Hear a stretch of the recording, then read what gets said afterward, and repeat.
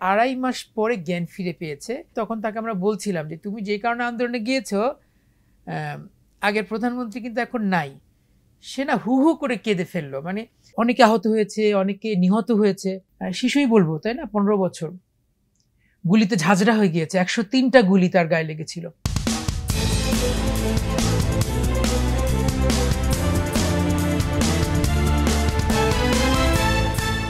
আসসালামু আলাইকুম, সবাইকে স্বাগত জানিয়ে শুরু করছি বাংলা ভিশনের নিয়মিত আয়োজন, দেশের কথা।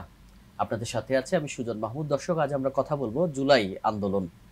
অর্থাৎ স্বৈরাচার এবং ফ্যাসিবাদ বিরোধী যে আন্দোলন কিছুদিন আগে হয়ে গেল, সেই আন্দোলনে সবচেয়ে বেশি ইফেক্টেড যদি বলি হয়েছে সেটা শিশু এবং কিশোররা।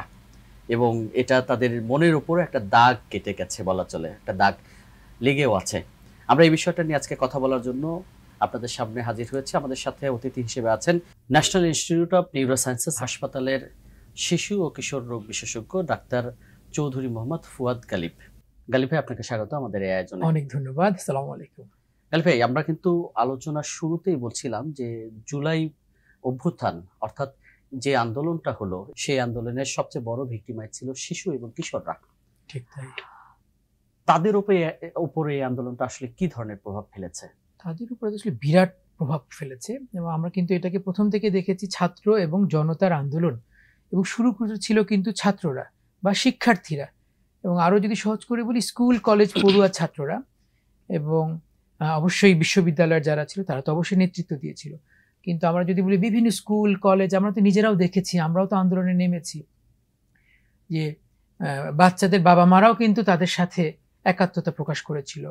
এবং ঢাকার নামকরা স্কুল কলেজগুলো, এমনকি প্রাইভেট বিশ্ববিদ্যালয়গুলো, সে যাদেরকে আমরা সাধারণত কখনো কোনো গণমুখী আন্দোলনে দেখি না, সাধারণত দেখি না এবার আন্দোলনে কিন্তু সবাই একীভূত হয়েছিল। সুতরাং সবাই যেহেতু এই আন্দোলনে নেমে পড়েছিল, তারা কিন্তু ভিক্টিমাইজড হয়েছিল বেশি। আপনার, আমার সবার মনে আছে যে, যেদিন ছয় বছরের শিশুটি মারা গেল তার নিউজটা যখন আমরা পাচ্ছিলাম, আমি যে এখনও ভাবছি, এখন আমার খারাপ লাগছে। বা ছাদে যে বাচ্চাটা গেল, গুলি খেলো। বা বাবার সাথে যেই ছেলেটি স্কুলে যাচ্ছিল, গুলি খেলো। বা ছোট ছোট বাচ্চারা, আমি যেহেতু ডাক্তার নিউরোসায়েন্স হাসপাতালে আছি, আমি অনেকের সাথে সরাসরি কথা বলেছি। পনেরো বছরের শিশুটি শিশুই বলব, তাই না? পনেরো বছর। গুলিতে ঝাঁঝরা হয়ে গিয়েছে, একশো তিনটা গুলি তার গায়ে লেগেছিল। এবং দুর্ভাগ্যজনকভাবে যে অনেক দিন চিকিৎসার পরেও সেই ছেলেটিকে আমরা বাঁচাতে পারিনি। এবং আমাদেরই নিউরোসায়েন্স হাসপাতালের সার্জন এক সার্জারি যে ডক্টর ডক্টর মাহফুজ স্যার উনি কিন্তু মানে এতটাই আবেগাপ্লুত হয়েছিল শহীদ মিনারে তার জানাজার নামাজও আমাদের সেই ডাক্তার পড়িয়েছেন। মানে আমরা কীভাবে তাদের সাথে একাত্মতা প্রকাশ মানে হয়ে এক্স্যাক্টলি তো বাচ্চাদের আমি আমার নিজের ঘরের কথা যদি বলি এই আন্দোলনের সময়টুকুতে পাঁচই আগস্ট মহা আন্দোলন হলো।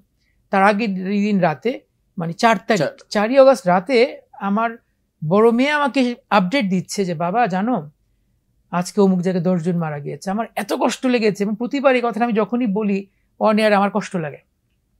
যে দশ বছর একটি শিশু কেন বাবাকে প্রতিদিন রাতে খুনের আপডেট দিবে? তার মানে প্রতিটা ছেলে মেয়ে কিন্তু এটাতে আক্রান্ত। অনেকে বলতে পারে না অনেকে প্রকাশ করতে পারে না অনেকে হয়তো রাস্তায় নামতে পারেনি কিন্তু মোবাইলের কারণে, ইন্টারনেটের কারণে সবাই জানছে কি হচ্ছিল। বা মুগ্ধ ছেলেটা যে মারা গেল, পানি লাগবে, পানি। এটা কিন্তু আমাদের প্রত্যেককে আন্দোলনিত করেছিল। তাই না? তরুণ একটা ছেলে, টকবগে একটা যুবক, সে স্কাউট করতো। আমি এটাকে আরও বেশি অনুভব করি, কারণ আমি ছোটকালে স্কাউটিং করতাম। ওর এই অনুভূতিটা আমি আমি বুঝতে পারি যে আন্দোলনে সবাই যাচ্ছে, আমি পানি নিয়ে গেলাম। কারণ এই কাজগুলো একসঙ্গে আমরা করেছি, আমাদের সময় আমরা করেছি। তো সেই জায়গা থেকে আমরা যদি বলি বা স্কুলের মেয়েরা নেমে যাচ্ছে, আমি দেখেছি আমার বাসা যেখানে বিকর্ণসের মেয়েরা নেমে গিয়েছে, আইডিয়াল স্কুলের ছেলেরা নেমে গিয়েছে, সবাই সবাই। এবং অনেকে আহত হয়েছে, অনেকে নিহত হয়েছে, আল্লাহ বেহেস নসিব করুক। অনেকে পঙ্গুত্ব বরণ করেছে, অনেকে এখনও যন্ত্রণায় কাতরাচ্ছে। এবং বাবা মার অবাধ্য হয়ে অনেকে কিন্তু আন্দোলনে চলে গিয়েছিল। সুতরাং সব কিছু মিলিয়ে তাদের মনোজগৎ কিন্তু একদম ওলট পালট হয়ে গিয়েছে। পড়াশোনায় মন চলে গিয়েছে একটা ব্যাচ তো পরীক্ষা ঠিক মতো দিতে পারেনি পরীক্ষায় ভালো দিতে পারেনি বলে তাদের রেজাল্ট খারাপ হয়ে গেল। রেজাল্ট খারাপ হয়ে যাওয়ার কারণে আবার তারা এটা মেনে নিতে পারছিল না। আবার তারা আন্দোলনে চলে যাচ্ছে। সব কিছু মিলে একদম একদম লেজে গুবরে অবস্থায় মানে একদম বিশৃঙ্খল একটা অবস্থা দিয়ে আমাদের ছেলে মেয়েরা পার করছে। সুতরাং অবশ্যই তাদের মননে তাদের মনোজগতে অনেক বড় ধরনের আসলে ক্ষতি হয়ে গিয়েছে আমি বলব। মানে একটা অস্থিরতা চলে এসেছে তাদের মনোজগতে। হ্যাঁ মানে আমি আসলে আমি খাটো করে বলছি না আসলে একটা অস্থির জেনারেশন তৈরি হয়ে গিয়েছে। আসলে এই সময় করণীয় কি? আসলে তাদের মধ্যে স্থিরতা আনার কোনো উপায় কি আসলে? সবাইকে মিলে এখানে ভূমিকা পালন করতে হবে? শিক্ষকদেরকে তাদেরকে আবার ভালোবেসে ক্লাসে ফেরাতে হবে। বাবা মাদেরকে তাদেরকে আবার আদর যত্ন করে তাদেরকে আবার তাদের প্রতিভা বিকাশের সুযোগ দিতে হবে। আমরা যারা বড়, বড়রা আছি, আমরা আমাদের জায়গা থেকে কাজ করব। সমাজে যারা মুরব্বী আছে, আমরা বলি যে গার্ডিয়ান ফিগার যারা আছে, তাদের উচিত শিশুদের মানসিক গঠনে সাহায্য করা। আমরা যে অনুষ্ঠানের শুরুতে আলোচনা করছিলাম যে আমাদের সময় আমরা চরিত্র গঠন এবং মানসিক গঠনের অনেক ধরনের কি বলব প্রক্রিয়ার মধ্যে দিয়ে উপকরণ ছিল তাই না? যেমন নতুন কুড়ি ছিল যারা খেলাধুলা পছন্দ করতো আমার এখনও মনে আছে নির্মাণ স্কুল ক্রিকেট টুর্নামেন্ট ছিল। নভেম্বর ডিসেম্বর হলে যারা একটু খেলো খেলতে ভালোবাসে তাদের মাথায় থাকতো যে আমি এবার নির্মাণ স্কুলে ভালো করব। এবং ঢাকার স্কুলগুলো খুব ভালো কম্পিটিশন হতো। ওখান থেকে তরুণ ক্রিকেটাররা উঠে আসতো। আমার এখনও মনে আছে মেহরাব হোসেন অপি আমি ছোটকালে যে স্কুলে পড়েছি উইলস্টিল ফ্লাওয়ার স্কুল ওখানে মেহরাব হোসেন অপি খেলতো। পরে একটা সময় দেখলাম ন্যাশনাল টিমে অপি করিম অপি করিম সরি মানে মেহরাব হোসেন অপি অপি চান্স পেয়েছে। তো এগুলো কিন্তু সবাইকে আন্দোলিত করত। বা ধরেন নতুন কুড়ি ছিল ঢাকায় যারা ছিল আমার এখনও মনে আছে যে মিম ছিল তারপরে হঠাৎ করে নাম মনে আসছে না। অনেকে কিন্তু নতুন কুড়ি থেকে তারিন ছিল নতুন কুড়ি থেকে উঠে এসছে। বা মানে- আমি যদি ধরি গান গান বাজনার যে প্ল্যাটফর্মগুলো ছিল ডিজুস আমাদের সময় আমার এক টিচার আমাকে মজা করে বলতো ডিজুস। তো ওই যে গ্রামীণ ফোন ডিজুস নিয়ে আসলো। বা আমি আরও আগে যদি ধরি কোকা কোলা তারা ইয়ো ইয়ো কম্পিটিশান নিয়ে আসলো। মানে তরুণদেরকে কিন্তু এনগেজ এনগেজ করে রাখতে হয়। মানে তরুণরা তো আসলে বিক্ষিপ্ত হয়ে যায়। তরুণরা কিন্তু পথভ্রষ্ট হয়ে যায়। সুতরাং একটা আন্দোলনের পরে এই বিক্ষিপ্ত মনগুলোকে আবার একটা জায়গায় গুছিয়ে নিয়ে আসতে হবে। আবার আগাছাগুলো ছেটে ফেলে তাদেরকে আবার সুন্দর ফুলদানিতে সাজিয়ে তুলতে হবে। তাদের প্রতিভা বিকাশে সাহায্য করতে হবে। এটা ভালো কথা বলছেন। আমরা তো এটা তরুণদের কথা বললাম মানে কিশোরদের কথা বললাম।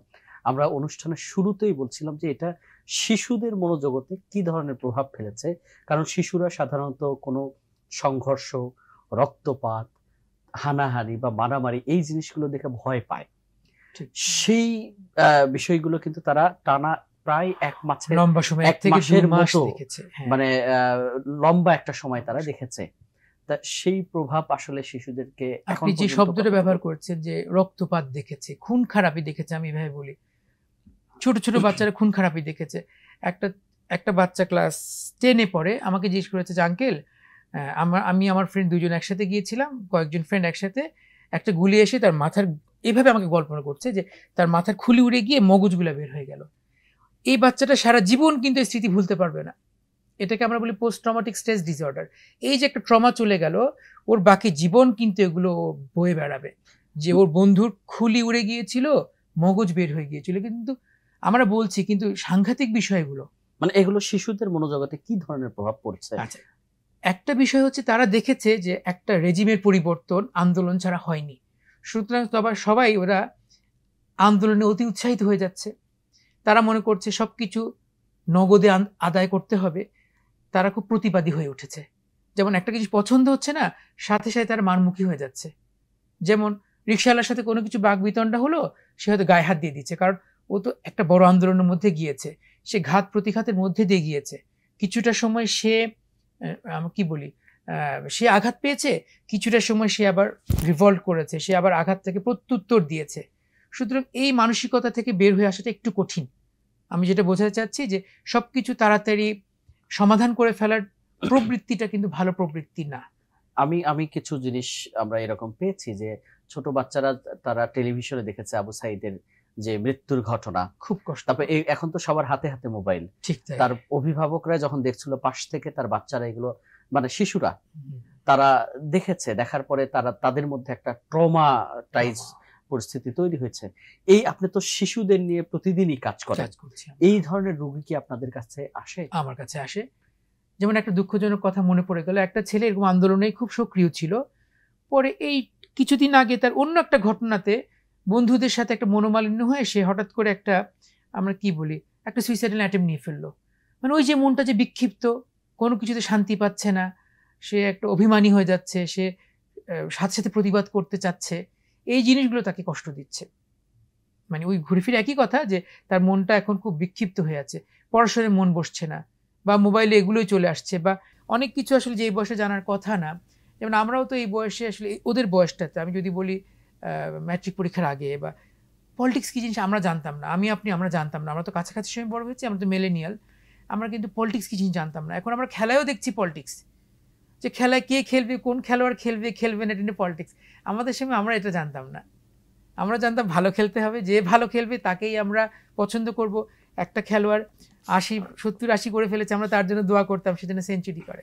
তার মানে নির্দিষ্ট কেউ না। তার মানে এগুলো তাদের শারীরিক যে প্রভাব মানসিক যে প্রভাব এর সাথে সামাজিক একটা বড় প্রভাব তাদের উপর দিয়ে যাচ্ছে। যাচ্ছে। এবং আরেকটা জিনিস হচ্ছে তারা খুব নিরাপত্তাহীনতায় ভুগছে। আমি ঠিক এই জায়গাটাই বা ইয়ে মনোনিবেশ আসতে চাই এই জায়গাটাই। যে আসলে নিরাপত্তাহীনতা মিন্স আপনি কি বোঝাতে চাচ্ছেন? যে আসলে তাদের তারা কোন নিরাপত্তাহীনতা আচ্ছা, সেটা হলো একটা অবিশ্বাস। আমি যদি বিশ্ববিদ্যালয়ে পড়ুয়া ছেলেদের কথা বলি বা কলেজে পাশাপাশি দুটা বন্ধু কিন্তু একজন বড় ভাইয়ের ডাকে ওই পক্ষে চলে গেল আর বাকিরা সামাজিক দায়বদ্ধতা থেকে বা সত- সত্যটাকে আঁকড়ে ধরার অনুপ্রেরণা থেকে তারা আন্দোলনে চলে গেল তাই তো? এরা যখন আবার ক্লাসে ফিরে আসছে ও তো ওই বন্ধুটাকে আর বিশ্বাস করতে পারছে না। অথবা যে যে বন্ধুটি রাজনৈতিক বড় ভাইদের পেছনে চলে গিয়েছিল ভুলবশত, সে কিন্তু আবার এখানে ফিরতে পারছে না। এই একটা নিরাপত্তাহীনতা যে আবার কি হবে, সামনে কি হবে, আবার কি একটা অস্থিরতা হয়ে যাবে? এইগুলোতে আসলে তাদের খুব নিরাপত্তাহীনতা। এটা নিরাপত্তাহীনতা, কিন্তু এগুলো এই টোটাল বিষয় মিলে আমরা আবারও আসি যে এত বড় আন্দোলন, পাশাপাশি এত দীর্ঘ সময় ধরে যে আন্দোলনগুলো সেখানে অনেক মানুষ হতাহত হয়েছে অনেক মানুষ নানাভাবে ক্ষতিগ্রস্ত হয়েছে। এর পাশাপাশি যারা আহত হয়েছে আহতদের বড় একটা অংশ ছিল হচ্ছে শিশু কিশোর। এই শিশু কিশোরদের আহ, যারা আহত হয়ে আসতেছে তারা আবার কীভাবে হ্যাঁ যে পঙ্গু যে ছেলেটি সে আবার স্কুলে ফিরে যাচ্ছে কলেজে ফিরে যাচ্ছে বা বিশ্ববিদ্যালয়ে ফিরে যাচ্ছে তাই তো? ওর কিন্তু এই ক্ষতটা রয়েই গেল। সে কিন্তু আর আর দশজনের সাথে সবসময় মিশতে পারছে না। দু একজন পারছে। সবার কিন্তু মানসিকতা সমানভাবে কি বলব খুব শক্ত মন মানসিকতা সবাই না। সুতরাং এখানে যদি সে সবার থেকে সহানুভূতি না পায় তাহলে কিন্তু তার জন্য আবার সমাজে একটা ভালো অবস্থানে যাওয়া খুব কঠিন। তা আপনারা যখন নিউরোসায়েন্সে তো আপনারা সবচেয়ে বেশি এই ধরনের রোগীগুলো আপনারা পেয়েছেন। তখন তাদের মধ্যে তাদের মানসিক কি ধরনের পরিবর্তন অনেক পরিবর্তন। আরেকটা জিনিস না বললেই না, তাদের পরিবারের যে কষ্ট। যারা আক্রান্ত তারা তো আছেই, তাদের পরিবারের যে কষ্ট, তাদের পরিবারের যে কি বলব অনিশ্চয়তা, যেমন একটা ছেলে বা একজন স্টুডেন্ট, সে এখন আর হয়তো ক্লাস করতে পারছে না বা এমন একটা পঙ্গুত্ব বরণ করেছে যেমন চোখ নাই। যার চোখ নাই, সে কি আর পড়তে পারবে? আমরা যতই বলি না কেন চক্ষু হাসপাতালে যারা যায়নি তারা ধরতে পারবে না যে চোখ নাই তো, তার দুটো চোখ চলে গেছে। সে কীভাবে আর পড়বে? সে কীভাবে আর টিভি দেখবে? পারবে না তো। বা যার পা হারিয়েছে, যার এক পা হারিয়েছে সে তো খুঁড়িয়ে হাঁটছে যার দু পা হারিয়েছে সে তো আর হেঁটে স্কুল পর্যন্ত যেতে পারছে না। তো এগুলো নিয়ে আমরা কাজ করছি, কীভাবে তাদেরকে আবার পুনর্বাসন করা যায়, যেটাকে আমরা বলি রিহ্যাবিলিটেশন কীভাবে তাদেরকে সামাজিক পুনর্বাসন করা যায়, কীভাবে তাদেরকে আবার তাদের নিজ নিজ প্রতিভার জায়গায় উন্মেষ যেন ঘটাতে পারে সেখানে সাহায্য করা যায় হুইল চেয়ার দেওয়া যায় মানসিকভাবে তাদের পাশে থাকা যায় সেটা নিয়ে আমরা এখন কাজ করছি মূলত। গেলে ভাই আমি যে জিনিসটা বলতে চেয়েছিলাম যে পুনর্বাসন পুনর্বাসন মানে আপনারা হসপিটালে যেই আহ, শিশু কিশোররা ভর্তি আছে তাদের মানসিক অবস্থা কেমন দেখছেন? তারা আবার কীভাবে ফিরে আসবে সেটা তো পরবর্তী বিষয় কিন্তু ওই সময় এই আতঙ্ক এখন আসলে তাদের তারা মধ্যে একটা এখনও বিরাজ করছে? একটা ট্রানজিশনাল অবস্থায়। যেমন একটা স্মৃতি আমার মনে পড়ে গেল যে আন্দোলনে আক্রান্ত একজন প্রায় আড়াই মাস পরে জ্ঞান ফিরে পেয়েছে।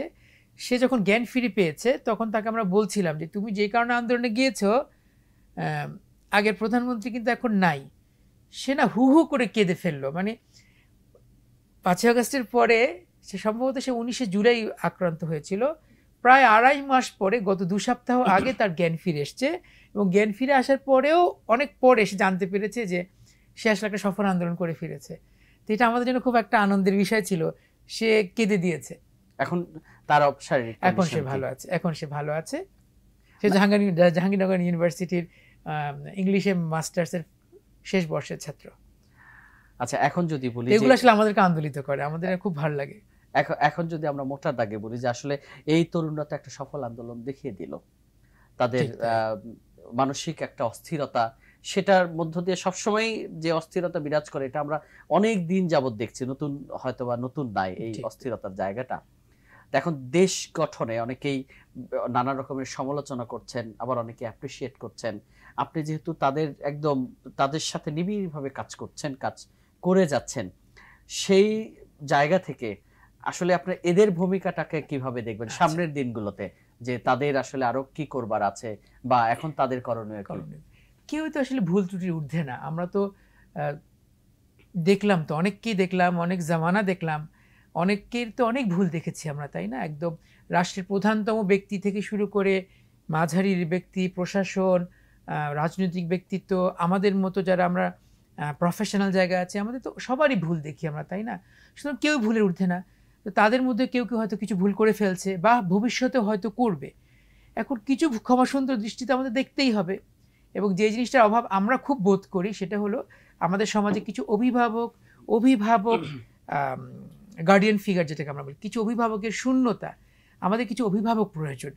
এই সম্ভাবনাময় তরুণদেরকে আগিয়ে নেওয়ার জন্য তাদের প্রয়োজন ভালো অভিভাবক এবং ভালো একটা পরিবেশ।